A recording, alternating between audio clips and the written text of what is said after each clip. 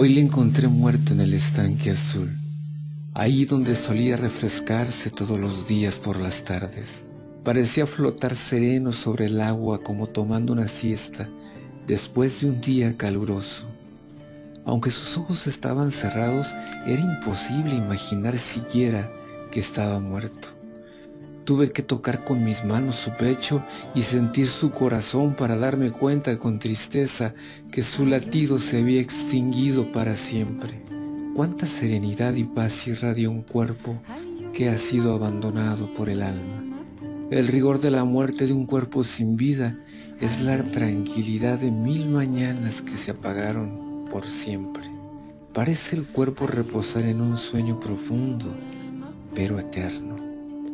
Con esa partida se hiela la sangre, pues muy dentro de nuestro ser sabemos por instinto que ese será nuestro próximo e inevitable destino. Amigo, donde quiera que estés, ni siquiera pido que descanses en paz porque sé que ya lo estás haciendo, ya que estás fuera del alcance de esta plaga letal y mortífera que solo sabe destruir y hacer guerras. El hombre